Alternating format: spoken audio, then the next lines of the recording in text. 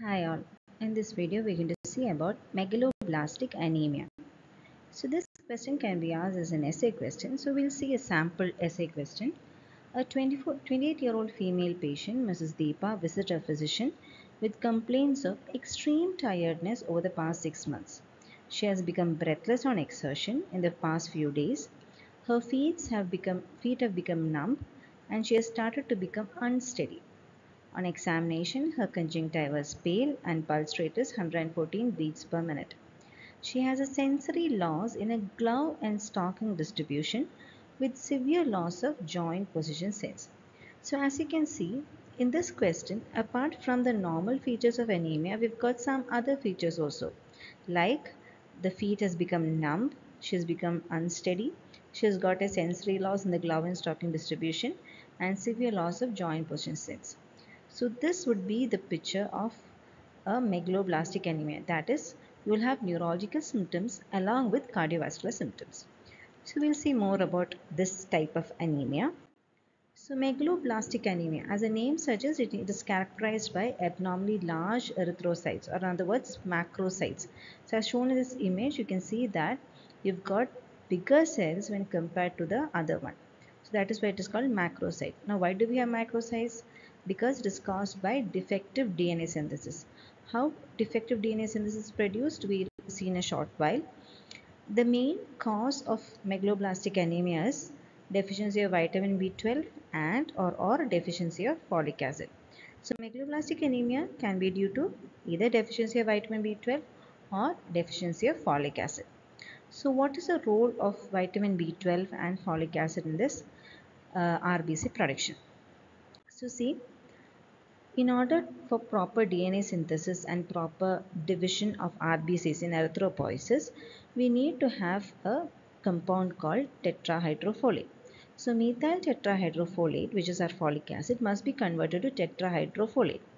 And for this, we need our vitamin B12. Vitamin B12, which is cobalamin, gets converted to methyl cobalamin in that process. So in other words, it is vitamin B12 which activates our folic acid to form the active tetrahydrofolate. When cobalamin is converted to methylcobalamin simultaneously we've got conversion of homocysteine to methionine. So suppose there is no vitamin B12, what will happen? This cobalamin is not there. So will there be activation of tetrahydrofolate? No. So tetrahydrofolate will not be there. And this tetrahydrofolate is actually required for synthesis of thymine. You know, thymine is a nucleic acid present in DNA. So when thymine is not there, the DNA replication is slowed. Thus what happens? There will be lesser mitosis and thus there will be larger RBCs. So because it is because of mitosis that the cells become smaller and smaller. In this case, because the DNA replication is slowed, there is lesser mitosis which in case will produce larger RBCs otherwise called macrocytes. So that is why we have macrocytes in case of folic acid or vitamin B12 deficiency. Okay. So now we'll see the causes of vitamin B12 deficiency. So this is the uh, image showing how vitamin B12 is absorbed in the body. So when we have vitamin B12, it combines with a factor called intrinsic factor which is produced by the parietal cells. So the intrinsic factor combines with vitamin B12 and ultimately when it reaches the terminal ileum, the vitamin B12 will combine to a receptor called cubilin and is then transported in the blood via transcobalamin 2. So what are the causes of vitamin B12 deficiency? So suppose you have decreased dietary intake of vitamin B12. So obviously you will have deficiency.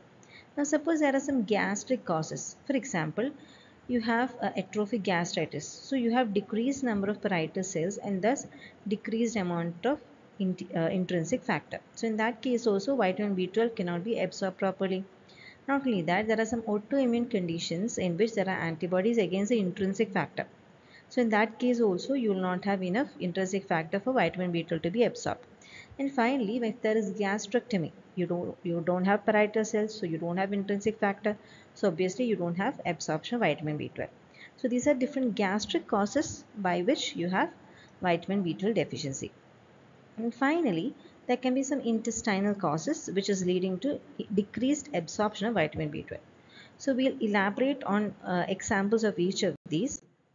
So the causes of inadequate dietary intake, intake may be because the person is strict vegetarians or they are uh, breastfed infants. Gastric causes, as I mentioned, includes autoimmune failure of intrinsic factor. See, that is also called pernicious anemia or Addisonian pernicious anemia. Then gastrectomy and atrophic gastritis. Intestinal causes include tropical sprue, ileal resection, Crohn's disease, fish tapeworm infestation and intestinal blind loop syndrome. So try to memorize the basic reasons for vitamin B12 deficiency. What about folic acid? So here also we've got a number of reasons for folic acid deficiency but in this case it is somewhat direct. So suppose you have inadequate dietary intake as in case of poor intake of vegetables. You'll have folic acid deficiency. Now even if you intake folic acid it has to be absorbed properly. So suppose you've got a malabsorption as in case of celiac disease, tropical sprue, Crohn's disease. In that case you can have folate deficiency. Suppose you got increased demand, that means body needs more folic acid than you are eating. What, what, what are the examples of such conditions where you have increased demand? Like pregnancy, lactation, infancy, or in cases of hemolysis and malignancies. In that case, you have you need more folic acid than is required. In that case also you can have megaloblastic anemia. Then certain drugs can uh, affect the absorption of folic acid like anticonvulsants, contraceptive and cytotoxic drugs. And there are other factors like excessive urine folate loss, active liver disease and congestive heart, heart, failure. So these are different causes of folate deficiency which in turn will cause megaloblastic anemia. So what are the symptoms of megaloblastic anemia? So the most common symptoms are malaise. The person will be tired, they will not feel, feel like doing anything the person will be breathless. That means there will be exertional breathlessness for about 50% of the patients. You can have paresthesia in a glove and stocking manner. So see, it is the hands and the feet that will be uh, involved earlier. So that is why it is called paresthesia in a glove and stocking model. And you can also have weight loss. Along with these symptoms, you can also have poor memory, depression, personality changes, hallucinations and visual disturbances. So these are the different clinical features of megaloblastic anemia. What about the signs? So as when you check the patient, you can see that the person will have a glossitis. That means they'll have a smooth tongue. They can have an angular cheilitis, which is basically a lesion at the angle of mouth. And they can also have skin pigmentation and vitiligo. These are other specific features of megaloblastic anemia. So now here comes a physiological basis question. In vitamin B12 deficiency but not folate deficiency is associated with neurological disease. Why? See, in the question that I shown, I, I specifically said that the patient had neurological symptoms along with cardiovascular symptoms. But the thing is, if the person has folic acid deficiency alone, the person will not have neurological symptoms. It is only in vitamin B12 deficiency that they have neurological disease. Why? See, the reason is vitamin B12 is a cofactor for one more reaction. See, methylmalonyl CoA to be converted to succinyl CoA, you need cobalamin. So, when there is a deficiency of vitamin B12, this reaction does not take place, which will lead to accumulation of methylmalonic acid. Now, this methylmalonic acid is responsible for demyelination of the dorsal column and lateral spinothalamic tract, and thus it causes neurological symptoms. So see it is the accumulation of methylmalonic acid that triggers demyelination and thereby cause neurological symptoms in vitamin B12 deficiency. But this phenomenon does not occur in folate deficiency. Okay. So both vitamin B12 and folic acid is required for DNA synthesis and thus they cause macrocytes. But only vitamin B12 will cause neurological symptoms. So I hope that concept is clear. So see these are the different symptoms that are associated, neurological symptoms that are associated with vitamin B12 deficiency. You will have glove and stocking paresthesia and also there will be loss of ankle reflexes. In the spinal cord you can uh, you can see a condition called subacute combined degeneration especially of the dorsal column pathway. So thus the vibration, fine touch, extra will be lost. That is why in our question we said the person was unsteady and the person had lost the joint position sense that means uh, he or she has got no idea of what the position of the, their joints is okay so that is because of degeneration subacute combined degeneration especially affecting the dorsal column or posterior column pathways now in the cerebrum you can have dementia and optic atrophy that is the cause for visual disturbances in vitamin B12 deficiency and you can also have autonomic neuropathy. So these are the different neurological symptoms that you can expect in vitamin B12 deficiency.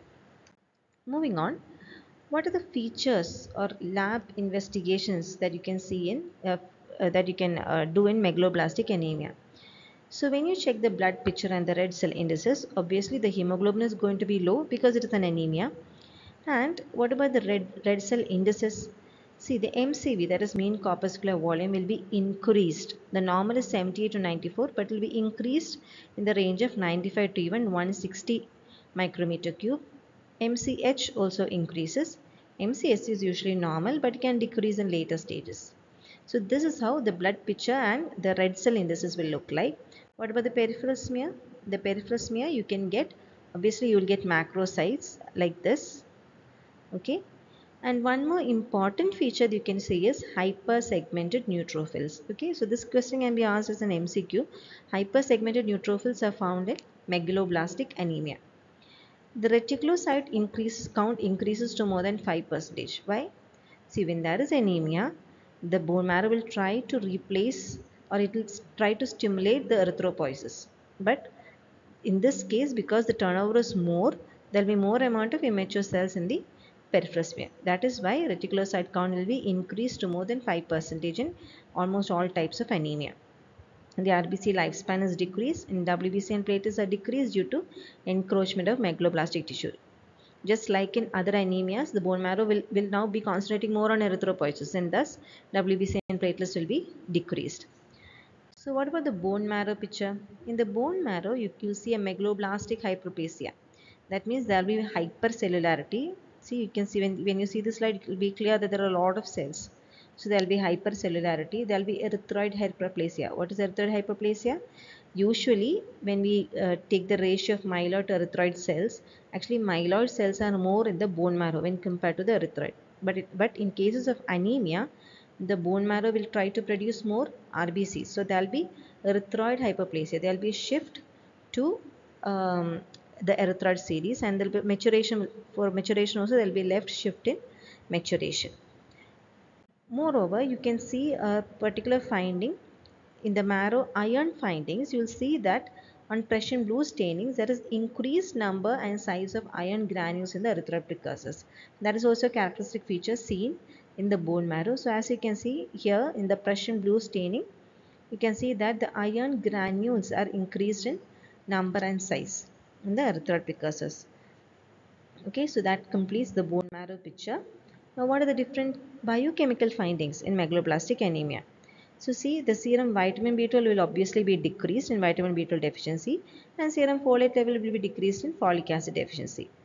Actually, red cell folate is a more reliable indicator of tissue, tissue stores of folate, which is decreased in folic acid deficiency.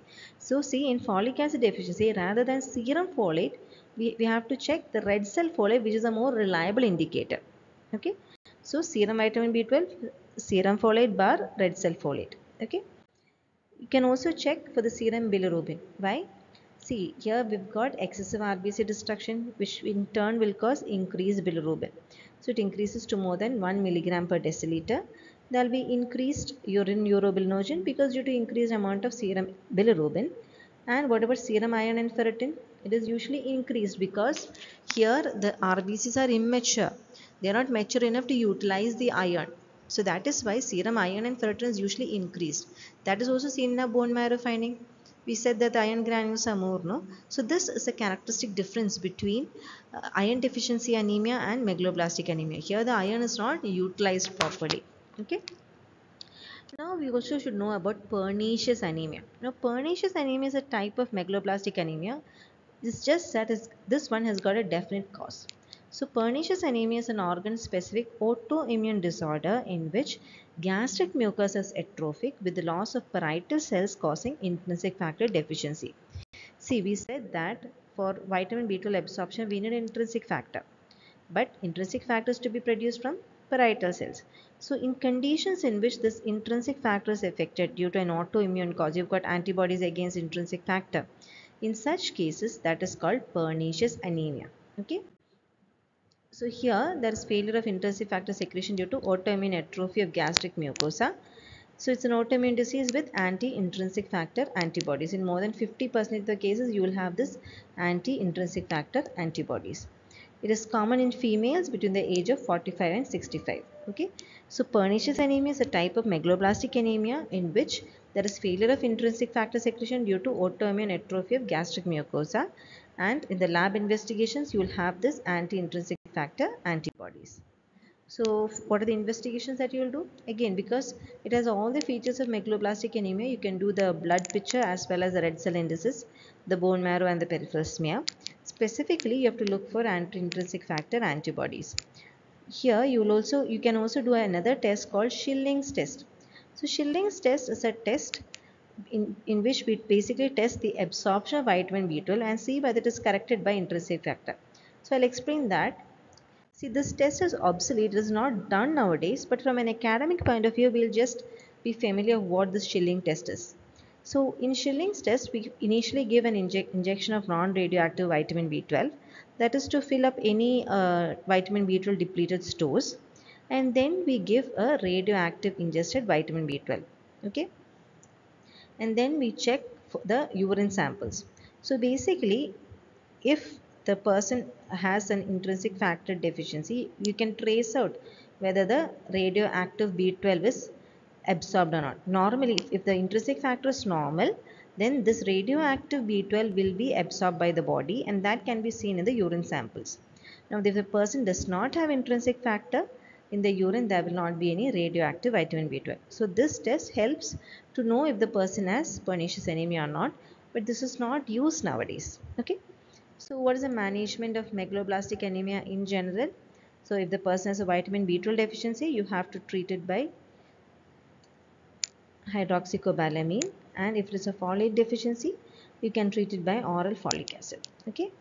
So that will complete our brief comprehensive overview about megaloblastic anemia. You can expect physiological basis questions, MCQs or even essay questions from this part. So I hope the concept is clear. Thank you.